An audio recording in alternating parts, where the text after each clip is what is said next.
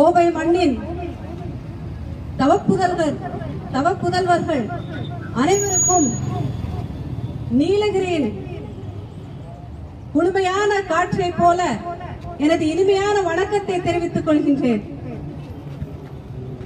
இன்றைய கூட்டமானது விவசாய சட்ட மசோதா என்ற ஓர் தேசத்தினுடைய அடுத்த கட்ட முன்னேற்றத்தினை சதி செய்து தடுத்து பொய் பிரச்சாரங்களை கூறி போலி விவசாயிகளை டெல்லிக்கு அனுப்பி மாண்புமிகு தங்க தலைவனால் நம் பிரதமரினுடைய பலத்தை குறைப்பதற்காக செய்யப்பட்ட சதியை முறியடிக்கும் விதமாக ஒவ்வொரு மாநிலத்திலும் இதற்கான விழிப்புணர்வு கூட்டங்கள் நடைபெற்றுக் கொண்டிருக்கின்றது.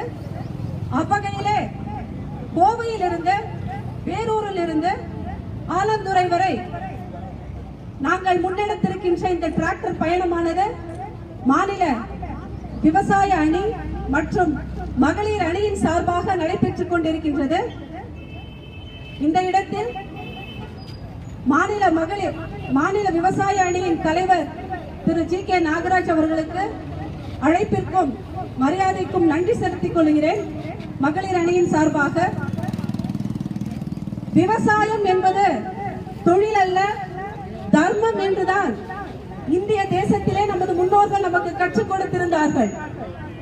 ஆனால் திமுக போன்ற கட்சியில் இருக்கின்ற அரசியல்வாதிகள் இந்த தர்மத்தை அவர்களுக்கு சாதகமாக்கி விவசாயிகளை அவர்களுடைய கைகூலியாக்கி அடிமையாக்கி எந்த அளவு அவமானப்படுத்த வேண்டுமோ அந்த அளவிற்கு தரம் தாழ்ந்து நடந்ததோடு அல்லாமல் அவர்களுக்காக ஏற்படுகின்ற ஒரு புதிய விடியலை மீண்டும் தடுத்து அஸ்தமனம் செய்வதற்காகத்தான் அவர்களது சின்னத்தையே வைத்திருக்கின்றார்கள். அந்த உதய சூரியன் என்பது அவர்கள் கட்சியில் இருக்கின்ற அரசியல்வாதிகளுக்கு மட்டுமே எந்த பொதுமக்களுக்கும் அல்ல என்பதை இவ்விடத்தில் கூறிக்கொள்ள கடமைப்பட்டிருக்கின்றேன். விவசாயிகள் இத்தனை ஆண்டு காலமாகவும் வெறும் கூலிக்கு மாரடிக்கும் விவசாயிகளாகவே இருந்து கொண்டிருந்தார்கள். என்னதான் சொந்த மண் வைத்து விளைவித்தாலுமே கூட விலை இல்லாமல் அவர்களுடைய வாழ்க்கை வாழ்க்கை தரம் அத்தனையுமே அடிமட்டத்திலேயே தான் இன்னும் இருந்து கொண்டிருக்கின்றது.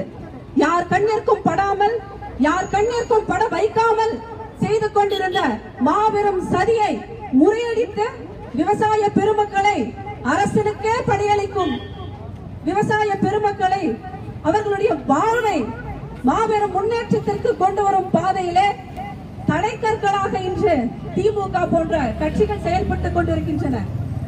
இங்கே மட்டுமல்ல இரண்டு மூன்று உயிர் பிரிந்தது இங்கே மட்டுமல்ல நீலகிரியிலும் கூட பசுந்தேயிலைக்கு விலை கேட்டு போராடிய போது இளைஞர்களை அரை நிர்மாணமாக்கி அவமானப்படுத்தி மகளிரின் கை விரல்கள் எல்லாம் காயப்படுத்தி விரல்கள் இழந்து ஊனமுற்றவர்களாக மாற்றி திமுக ஆட்சியிலே அவர்கள் செய்த அராஜகம் கொஞ்ச நெஞ்சம் அல்ல.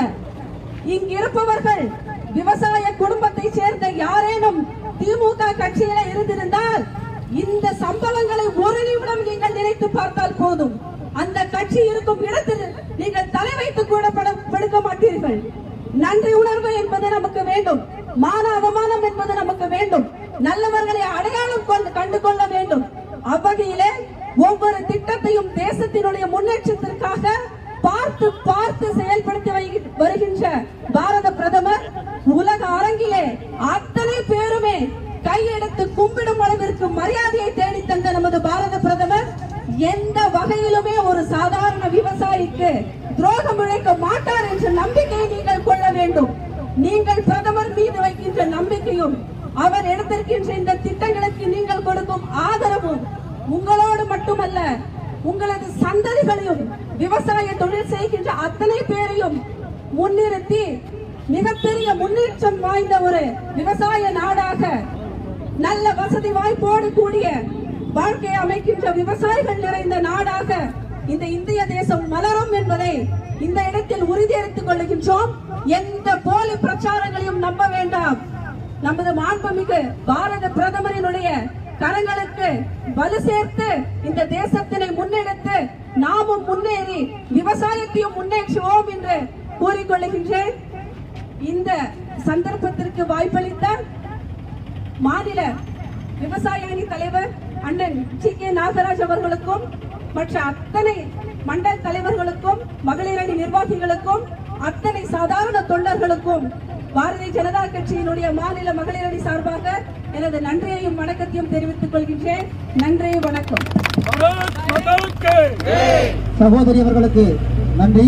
சிறப்பான முறையிலே தனது கண்டனத்தை பதிவு செய்த சகோதரி அவர்களுக்கு நன்றி. இப்பொழுது மாநில தலைவர் அவர்கள் ஒரு சில நிமிடங்கள் நமக்கு வழிகாட்டுவார்கள்.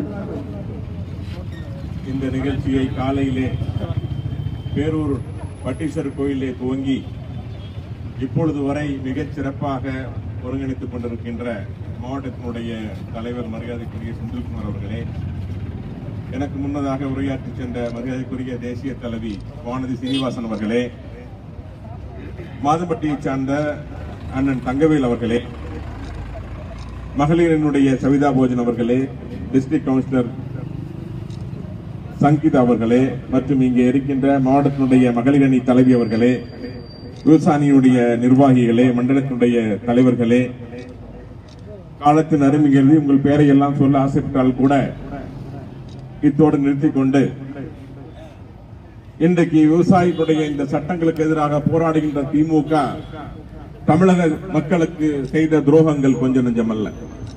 ஒரு பைசாவுக்காக மின்சார கட்டண உயர்வு என்று போராடினார்கள் விவசாயிகள். குருவி சுடுவது போல சுட்டுக் கொண்டது. ஏறக்குறைய தமிழகம் முழுவதும் நாற்பதுக்கும் மேற்பட்டோர் சுட்டுக் கொல்லப்பட்டார்கள். அந்த அனுதாபத்தை மக்களிடமிருந்து மறைப்பதற்காக இலவச மின்சாரம் என்று ஒன்றை கொடுத்தது. அதற்கு அடுத்தபடியாக நூறு நாள் வேலை வாய்ப்பு திட்டம். தோட்டத்திலே விவசாயிகளுக்கு உறுதுணையாக வேலை செய்து கொண்டிருந்த மக்களை எல்லாம் நூறு நாள் வேலை வாய்ப்பு என்ற பெயரிலே மடைமாற்றி விட்டது சட்டசபையிலே அன்றைய முதல்வர் கருணாநிதி அவரிடம் கேட்டார்கள் வேலைக்கு ஆட்கள் இல்லை தக்காளி விளைவிக்க முடியவில்லை வெங்காயம் எடுக்க முடியவில்லை நூறு நாள் வேலைவாய்ப்பு திட்டத்தை விவசாயிகளுக்கு மாற்றுங்கள் என்று கெஞ்சி கதறி கேட்டார்கள். அப்பொழுது அன்றைய முதல்வர் சொன்னார் கருணாநிதி அவர்கள் விவசாயிகள் என்ற மிட்டா மிராசுகளா ஜமீன்தார்களா தோட்டத்தில் இறங்கி வேலை செய்ய மாட்டார்களா? என்றெல்லாம் கேள்வி எழுப்பினார். அன்று ஆரம்பித்தது விவசாயத்திற்கு சரிவு.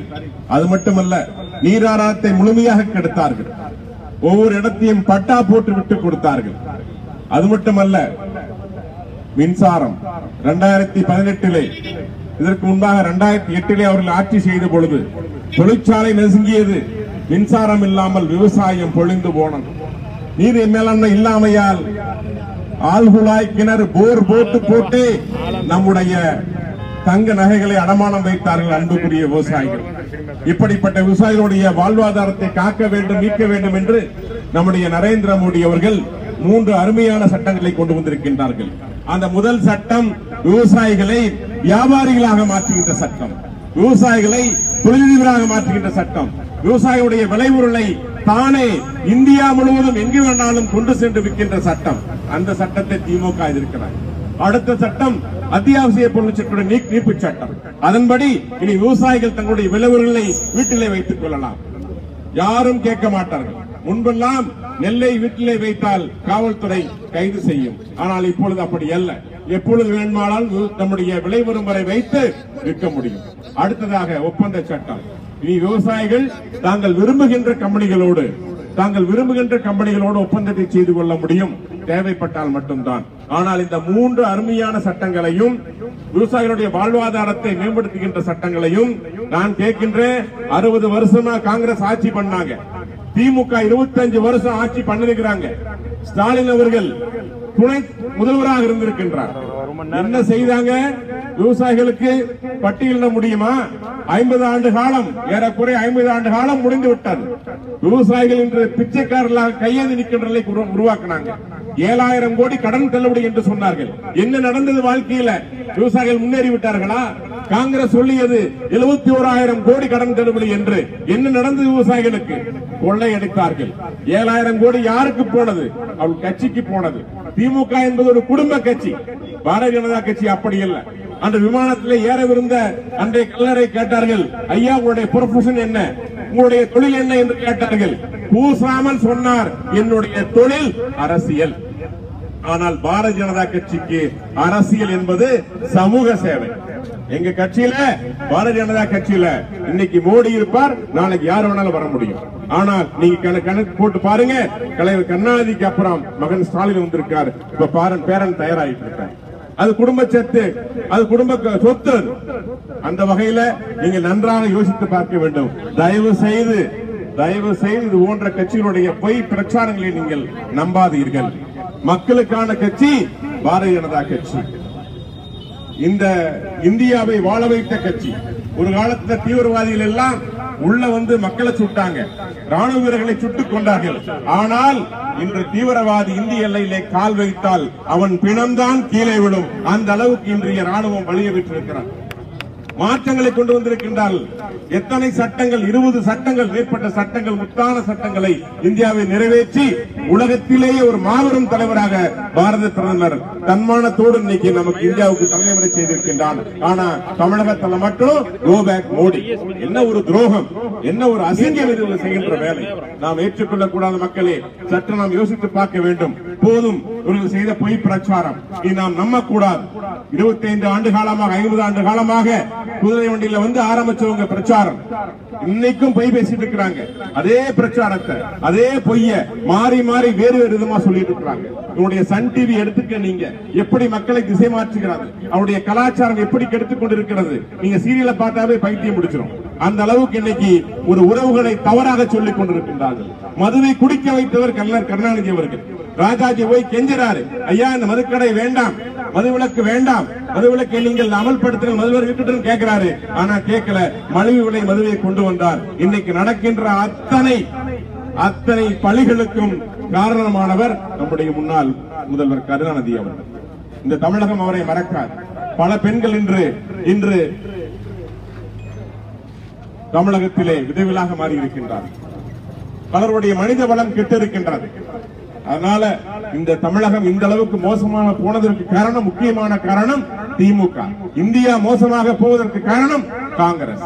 ஜாதியை வைத்து அரசியல் செய்தார்கள். மதம் வைத்து அரசியல் செய்தார்கள். இன்னைக்கு குஜராத்ல எடுத்துக்கங்க. இருபது ஆண்டு ஆழமாக பாரதிய ஜனதா கட்சி அங்கே ஆட்சி செய்து கொண்டிருக்கின்றார் இரண்டாயிரத்துல நம்முடைய இன்றைய பாரத பிரதமர் அன்று முதல்வராக இருந்தார். இருபது ஆண்டு காலம் அங்கு முப்பது சதவீதத்துக்கு மேல இஸ்லாமியர்கள் இருக்கின்றார்கள். எங்கே மத கலவரம்? இன்னைக்கும் இஸ்லாமியர்கள் தாமரை சின்னத்தில் நின்று வெற்றி பெற்று இங்கே நாட்டை ஆண்டு கொண்டிருக்கின்றார்கள் குஜராத்தில். ஆனால் தமிழகத்தில் மட்டும் இன்றும் மதவாதம் பேசி மத சார்பு என்ற பெயர் என்ற பெயரில்லை மக்களை ஏமாற்றிக் கொண்டிருக்கின்ற இந்த திராவிட முன்னேற்ற கழகம் நாம் அதற்கு ஒரு முடிவு கட்ட வேண்டும். அதற்கு அந்த பொய்மைக்கு ஒரு முடிவு கட்ட வேண்டும் என்றால் நீங்கள் அனைவரும் பிரச்சார பிரிவுகளாக மாறி விவசாயிகளிடம் உண்மையை சொல்ல வேண்டும். இந்த சட்டங்கள் முத்தான சட்டங்கள் மக்களை காக்கின்ற கட்டங்கள் விவசாயிகளை வியாபாரிகளாக தொழிலதிபராக கார்பரேட்டர்களாக மாற்றுகிற சட்டங்கள் என்று கூறி இந்த திட்டத்தை மக்களிடம் எடுத்து செல்ல வேண்டும் என்று கேட்டு விடைபெறுகின்றேன். நன்றி வணக்கம்.